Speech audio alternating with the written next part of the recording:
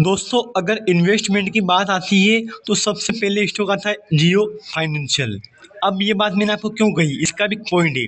क्योंकि दोस्तों already stock 400 के आसपास जाके आया है, जो कि तीन सौ बीस रुपये तक का इसने टप सपोर्ट बना रखा है इस वीक में। इलेक्शन रिज़ल्ट के बाद आपको काफ़ी बड़ी आपको गिरावट देखने को मिली है। लेकिन गिरावट के बाद दोस्तों, आपको फाइनली इसने अपर से लगते देखने को मिल चुका है। अब बात करें टारगेट की, जो कि आपको ये शेयर कम से कम बोल रहा हूँ मैं आपको, चार सौ टारगेट इस मंथ के लास्ट तक आपको देने वाला है। आज छः जून हो चुका है। बहुत ही जल्द दोस्तों आपको मंथ के लास्ट तक आपको इसका टारगेट कम से कम बोल रहा हूँ मैं आपको, चार सौ का देखने को मिल जाएगा। क्योंकि दोस्तों मार्केट में इसके ऊपर दिन पे दिन काफ़ी बड़ी बड़ी न्यूज़ आ रही है। जियो पे भी आ सकता है, अगर जियो पे आता है तो फाइनली ये शेयर आपको हज़ार टारगेट भी देने वाला है। अगर आपके मन में कोई सवाल क्वेश्चन है, आप मुझे कमेंट करके बता सकते हो।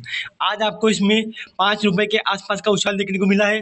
पिछले फाइव डे की बात करूँगा तो पॉइंट नाइन ज़ीरो एक मंथ की बात करूँगा तो माइनस बीस रुपये लेकिन आज इसने सारा रोज़ रिकवर आपका करवा दिया।